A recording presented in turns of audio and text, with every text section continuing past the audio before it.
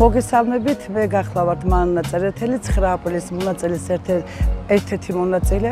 ეს დღე ამ დღემ ჩემს ცხოვრებაში ძალიან შთამბეჭდავი როლი ითამაშა, იმიტომ რომ მე როგორც ქართველი ვთვლი, რომ უნდა მიმიღო მონაწილეობა იმ აქციაში, რომელიც მიზნად ისახავდა საქართველოს დამოუკიდებლობას და საფრთა კავშირიდან მის გამოყოფას.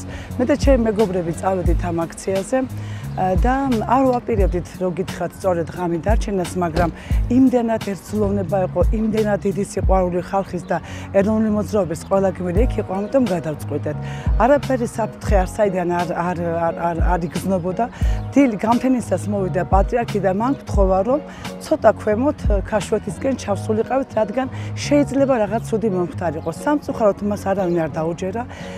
ამ დროს გაისმა თავისუფლების მოედნიდან ახლა ყოფილი ლენს მოედნიდან ტანკების გუგუნი ეს ეს გუგუნი ძალიან დიდხანს ჩამესმოდა. ჩემს მეხსიერებში დიდხანს იყო და აი ისე წამოვიდა ჩიტაცის ქუჩიდან ეს სპეციალური დანიშნულების რაზმები რომ ვერც კი გავიგეთ აღმოჩნდით აი ამ ტყვეობაში და აი პირველად შევხედე ამ დროს სიკვდილს აი პირველად ვიგრძელი რომ ვერასდროს ვეღარ ნახავდეთ ჩემს ახლობლებს და არ ვიცი როგორ აღმოჩნდი რუსთაველის ქუჩაზე. არ ვიცი როგორ აღმოჩნდი ვიღაცის ბინაში. ორად ორი სიტყვა ისმოდა ყველასგან. რატომ რისთვის? აი დღემდე კიდე ამდენი წელი გავიდა ცრემლები მომდის თვალებიდან. დილამდე ვიყავით, მე ჩავედით მეტროში უტყვა და დავბრუნდით სახში. ვიცოდი რომ დამყარდებოდა კომენდანტის საათი.